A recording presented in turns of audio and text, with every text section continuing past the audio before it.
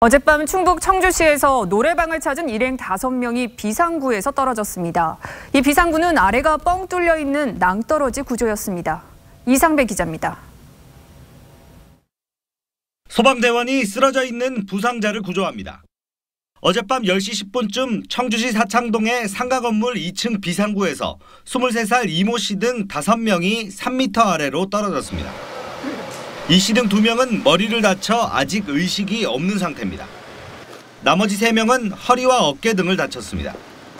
이씨 일행은 이곳 노래방 안에서 실랑이를 벌이다 그대로 비상구를 통해 추락했습니다. 비상구는 이중문 구조였습니다. 추락 위험을 알리는 문구와 안전 장치까지 있었지만 사고를 막지는 못했습니다.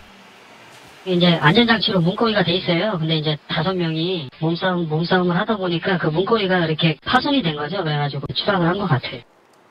현행법상 비상구 설치에 문제는 없었습니다. 다중이용 시설은 긴급 상황을 위해 비상구를 꼭 설치해야 하는데 이중문 공간 등만 있으면 어느 곳에서든 설치가 가능합니다. 오히려 문을 잠그면 300만 원 이하의 과태료를 묻니다.